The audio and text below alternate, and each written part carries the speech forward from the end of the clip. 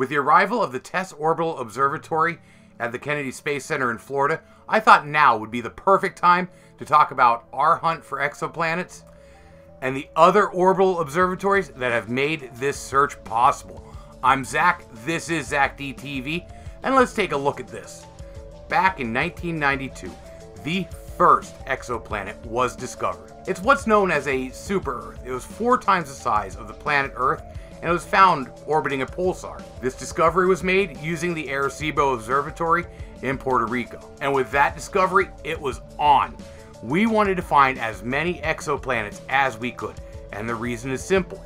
If there's an exoplanet in a habitable zone around another star, it could hold life and it could answer that question Are we alone? But even with all that urgency, it was still another 14 years until we put an observatory in space dedicated to finding exoplanets. And that first observatory was the COROT, and that stands for Convection, Rotation, and Planetary Transit. The COROT mission was led by the French Space Agency, and they were helped along by the ESA. And this space telescope went into orbit December 27th of 2006. It hitched a ride on a Soyuz rocket, and there it started its hunt for other exoplanets. COROT's orbit was designed to keep it facing away from the sun. That way, obviously, you don't get interference from our local star. So during the summer, it was pointed towards the galactic center. And in the winter months, it was pointed away from the galactic center.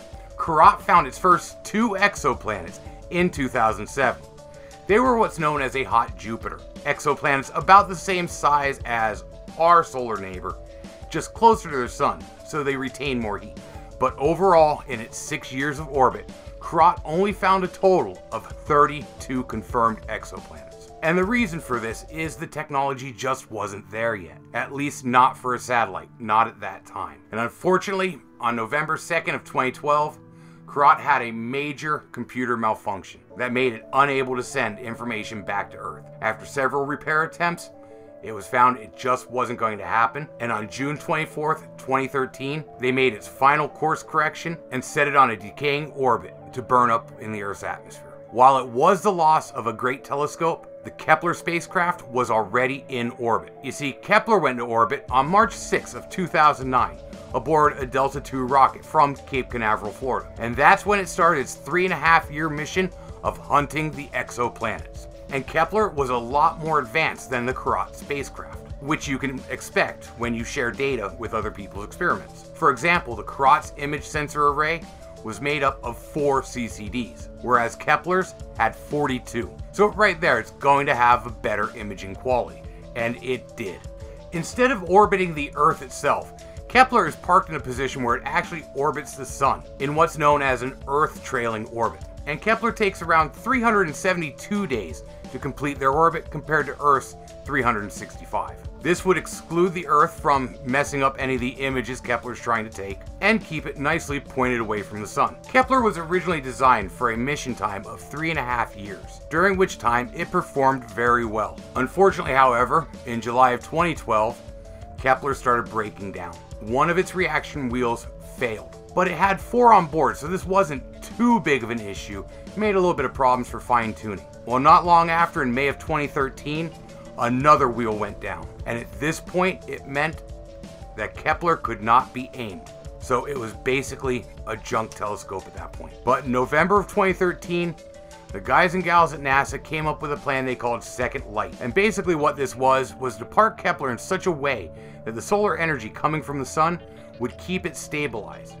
They wouldn't be able to focus Kepler on one specific spot all the time. Instead, they'd get a moving view as the spacecraft orbited our star. This was put into effect, and Kepler is still up there today, making its orbits and finding more exoplanets. And the numbers are staggering. During the primary Kepler mission, it found 4,496 candidates for exoplanets, of which 2,341 of them have been confirmed. They were also able to detect 30 exoplanets that were less than twice the size of the Earth and in the star's habitable zone. On top of that, the second mission found 622 candidate exoplanets, and 197 of those have been confirmed. And that includes this most recent bunch they just announced today. And like I said, Kepler, that little spacecraft that just won't stop, has been in orbit now for 8 years and 11 months and shows no sign of stopping. And that brings us to the newest satellite searching for exoplanets. That's TESS, the Transiting Exoplanet Survey Satellite. Something that makes TESS different than Kepler is that it is carrying much higher quality cameras on board. In fact, TESS is carrying four cameras, whereas Kepler only had one. And while Kepler can only study stars that are really far away, because if they're too close or too bright, it blurs out its sensors, like this. However, TESS will be able to examine stars that are 30 to 100 times brighter than what Kepler can even be pointed at. This means those stars will be a lot closer. In fact, they'll be close enough that we can examine their atmosphere for signs of life. And hasn't that been the goal all along? TESS will go into orbit sometime in the middle of April. They say no earlier than April 16th. And we'll be riding aboard one of those Falcon 9 rockets. So for right now, TESS is sitting at the Kennedy Space Center and being prepped for that ride. And I know that I can't wait to see what that craft can do in orbit. And finally, let's wrap this up with the James Webb Space Telescope. Part of TESS's mission is not only going to be to examine closer planets, but to find good candidates for us to point the Webb telescope at. The James Webb Space Telescope will go into orbit on an Ariane 5 rocket launched from French New Guinea in 2019. NASA says it will be the premier observatory for the next decade, and this truly is a multi agency expedition. We have the Canadian Space Agency involved, we have the ESA involved, NASA involved, and Northrop Grumman helped develop this satellite as well. The James Webb Space Telescope will feature a mirror that has 18 segments that fold up for easier transportation. And this mirror is more than twice the size of the one that's in the Hubble right now. So the imaging with this satellite should be amazing. Another pretty amazing advance for this is its sunshield design.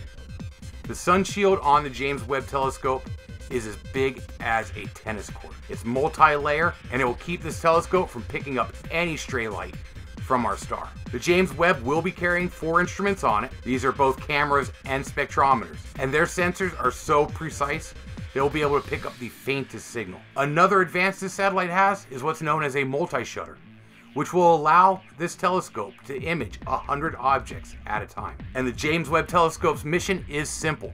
It is going to track transiting exoplanets, these targets that have been picked out by the TESS telescope. By using the onboard spectrograph, it will read the gases in the planet's atmosphere and be able to tell if there's compounds there that can only be made by organic life. So this should be the telescope that can answer that question that we were trying to answer back in 1992. Are we alone in our galaxy? So what do you think? Was the quest for extraterrestrial life worth all the time, money, and effort that we spent putting these four satellites into space? Or were there better ways that we could have spent this? Let me know in the comments down below. If you enjoyed this episode, make sure to click that like button, share it with your friends, and maybe subscribe so you know when I put up something new. My videos come out Monday, Wednesday, and Friday, so I hope to see you here again soon. And until next time, I want you to have fun and be safe.